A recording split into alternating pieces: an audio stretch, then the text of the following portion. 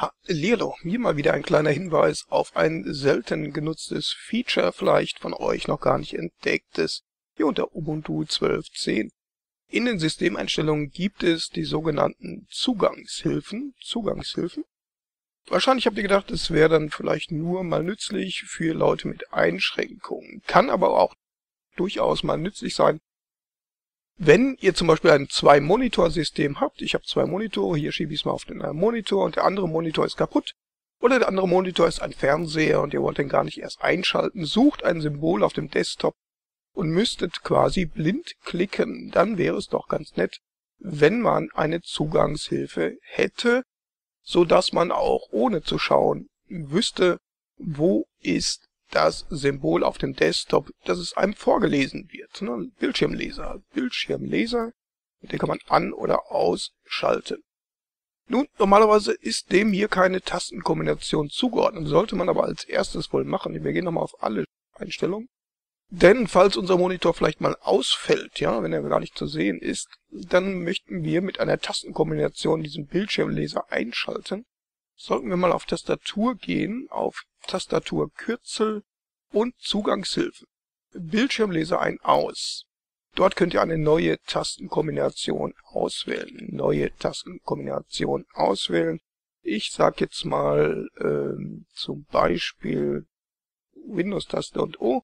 Also hier wird das als Super O dargestellt und schon hat man ein Tastaturkürzel womit man das einschalten kann. Ja, also ich drücke jetzt mal Windows-Taste und O und dann sollte das gleich klappen.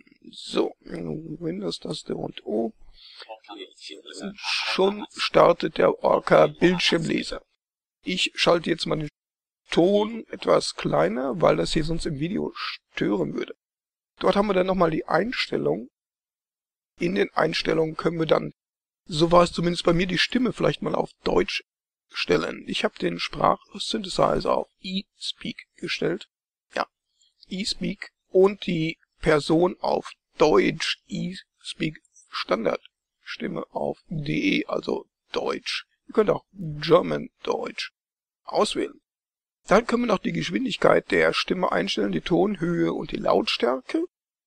So, und dann haben wir noch die Möglichkeit, die Möglichkeit, nur den angezeigten Text vorlesen zu lassen. Das heißt, wenn ich hier jetzt über diesem Text bin und das ist eingeschaltet, ja, ich wäre jetzt auf Anwenden gegangen, dann würde er sagen, nur angezeigten Text vorlesen.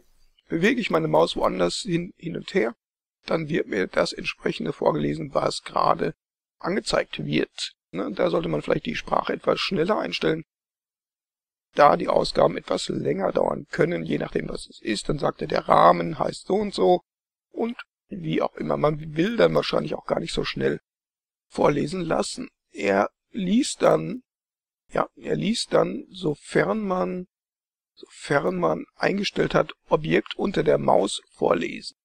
Ja, liest er auch dann zum Beispiel, was auf dem Buttons draufsteht. Vor, zum Beispiel anwenden, ne, und in dem Fall dann auf Deutsch. Hätte ich zum Beispiel auf meinem anderen Desktop ein Starter und ich würde diesen Bildschirm gar nicht sehen und ich würde herumklicken und ich würde jetzt einmal draufklicken. Ich wüsste, da ist der Starter. Ne? Das könnte also auch mal günstig sein, wenn wir mal Problem haben oder gar nicht den zweiten Monitor, zum Beispiel den Fernseher, extra einzuschalten, nur um auf den zweiten Bildschirm ein Starter anzuklicken. Gut. Könnt ihr mal mit herumprobieren. Ansonsten hatte ich schon ähm, Videos gemacht zu eSpeak und G-Speaker, um zum Beispiel komplette Texte vorlesen zu lassen. Ich hoffe hiermit geholfen zu haben. Verbleibe mit freundlichen Grüßen und tschüss.